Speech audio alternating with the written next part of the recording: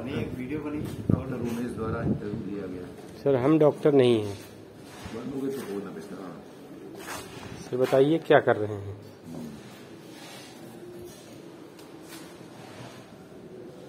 ये मैं कुछ नहीं मैं सब कुछ खोजने का प्रयास कर रहा हूँ।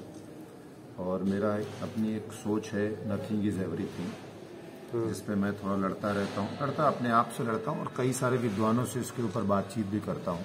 तो कभी कभी थोड़ी बहस हो जाती है लेकिन ठीक है सबके अपने अपने विचार हैं। तो मुझे ऐसा लगता है कि जैसे अनंत में ही अनंत है ना? सब कुछ सेम फिलोसफी है कि भाई हम किसी एक चीज़ के ऊपर न फोकस करके बहुआयामी फोकस रखते हैं। तो ये कुछ उस तरीके का प्रयास है कि जहाँ कुछ नहीं होता वहीं सब कुछ होता है।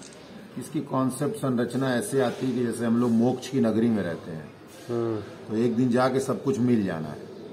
तो आखिरकार सब कुछ कहीं मिल गया। तो मतलब जहाँ कुछ नहीं था, वहीं जाके मिल गया। अब जैसे ज़िंदगी खत्म होती तो आदमी को लगता है कि कुछ नहीं हमारे पास। अब सब खत्म हो गया। लेकिन ईमानदारी से सब तो वहीं मिलता है जाके।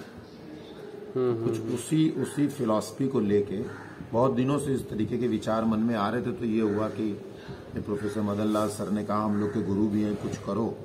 तो हम हम लोग जिस तरीके की इस समय व्यस्तताओं में या जिस तरीके से अकादमिक कार्य में बिज़ी रहते हैं उसमें यही होता है कि भाई कैसे सोचा जाए। तो जो सोच है वो बच्चे उससे कैसे इंस्पायर्ड होंगे जो आने वाली पीढ़ी है वो कैसे मिलेगी? तो इसी सिलसिले में ये प्लान किया गया कि कुछ सीरीज़ ऑफ़ वर्क बनाए जाएँगे। तो ये पहली सीरीज़ है मैक्स मिनिमलिस्ट की। ये मतलब मैक्सिमम मिनिमलिज्म के कॉन्सेप्ट के ऊपर काम किया जा रहा है। इस तरीके की ये सोच विचार है। और इसको मैंने हर तरीके के सेड में दिखाने का प्रयास किया है कि लाइफ के जितने भी अप्स एंड डाउन्स आते हैं ब्लैक अप्स है वाइट ब्लैक डाउन्स होते हैं वाइट अप्स होते हैं फिर ज़िंदगी बड़ी कलरफुल भी होती है सिर्फ़ ब्लैक एंड वाइट लाइफ नहीं होती है। और रंगों का बड़ा ज़बरदस्त महत्व है हमारे लाइफ में।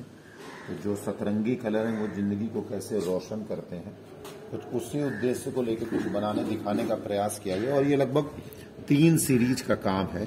तो पहले सीरीज़ पे अभी मैं सीधे सॉलिड कलर बेस पे काम कर रहा हूँ। इसके बाद फिर एक दूसरी सीरीज़ आएगी जो लगभग छह महीने बाद आएगी।